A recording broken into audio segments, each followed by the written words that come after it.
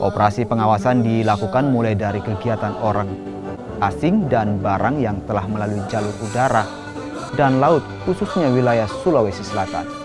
Operasi gabungan ini juga sekaligus untuk mensukseskan pengamanan kegiatan konferensi G20 di Bali. Di dalam rangka ini dibutuhkan sebuah kolaborasi antar instansi agar tidak ada lagi nanti sebuah pelayanan publik yang terputus.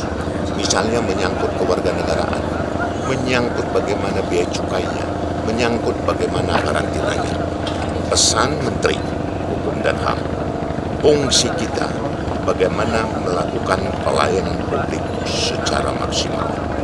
Di dalam rangka itu, kita mencoba menggandeng dan bekerja sama Bea Cukai selaku tekankan dan mempunyai sarpras yang cukup lengkap dan kita juga dengan karantina melakukan kolaborasi itu untuk menjalankan tugas pokok dan fungsi kita di dalam mengamankan seluruh sesuai dengan undang-undang yang dimiliki baik Kementerian Hukum dan HAM dari sudut keimigrasian, dari biaya cukai, dan dari karantinanya.